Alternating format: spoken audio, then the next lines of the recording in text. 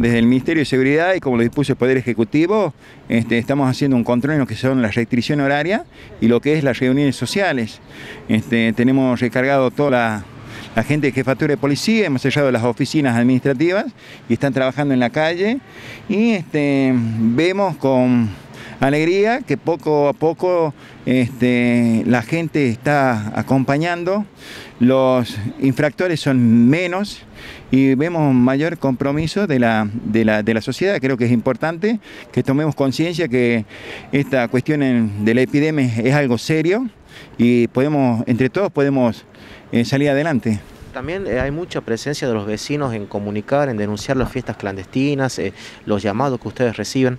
Es así, a través del 911, los distintos vecinos están colaborando y nos están avisando en cada situación que ven y para que nosotros podamos este, apersonarnos y, dar la respuesta que corresponde. ¿Cuál es el protocolo que se utiliza para la gente que circula en un horario no permitido en cuanto al tema multas? Bueno, las multas, digamos, nosotros estamos labrando las actas de contratación, las actas de multa.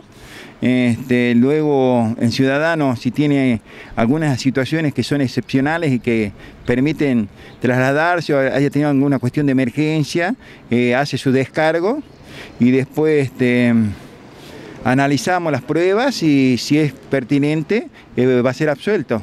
Pero la directiva que hemos bajado es decir, que quienes este, no puedan demostrar en el momento por qué están circulando, se tienen que hacer el acta. Ahora le consulto respecto a la situación del interior provincial. ¿Se mandó efectivos, por ejemplo, a Andalgalá, Belén, lugares donde está la situación muy crítica? Sí, cada, cada vez que lo dispone el Ministerio de Seguridad y de acuerdo a las necesidades de los distintos municipios, desde Jefatura de Policía, vamos con los grupos especiales a colaborar. Este, en lo que es el interior se vio mayor cumplimiento de las medidas de restricción, este, así que no estamos teniendo muchos problemas en el interior. Por último, ¿cómo golpea el coronavirus a la fuerza policial, personal aislado? ¿Cómo están trabajando con eso? Sí, no es ajeno a la preocupación que tiene toda la comunidad. Tenemos aproximadamente 60, 70 personas enfermas. Estamos esperando que nos vacunen, estamos esperando que nos vacunen. El, ministro de Seguridad, el doctor Aguirre, ya habló con el gobernador y con la gente de salud. Estamos esperando la partida y va a haber un número importante de policías vacunados, ya que de la fuerza que somos 4.200 hombres, solamente tenemos vacunados 1.100 personas. Pero existe este compromiso este, que vamos a vacunar en muy pocos días.